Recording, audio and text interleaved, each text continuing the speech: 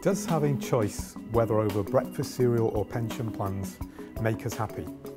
It's become fashionable to say that we can have too much choice, that if we face many different options, we'll get stressed about making the wrong choice, or that we'll be comparing our choices unfavourably to the choices that other people have made.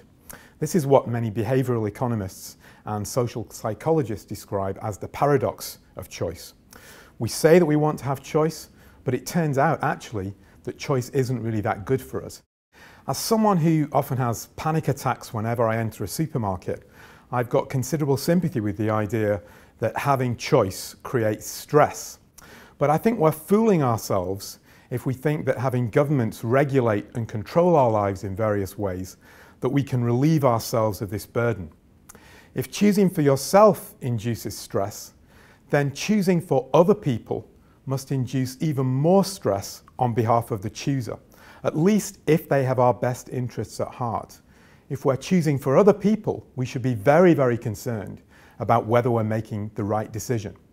If we take seriously the idea that choice creates stress, then it will be to place an intolerable burden on regulators and bureaucrats to expect them to choose for us.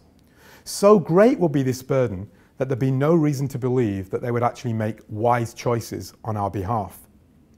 Even if we assume, for the sake of argument, that bureaucrats and regulators aren't actually too stressed out, there's no reason to believe that they actually have the knowledge to make the best choices for us.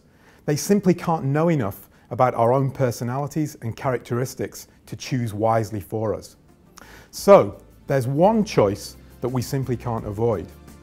Either we face the reality of having to make our own choices and dealing with the burden of that stress, or we face the still greater burden of knowing that choices are being made for us by people who are either too stressed or who lack the knowledge to make the best choices for us.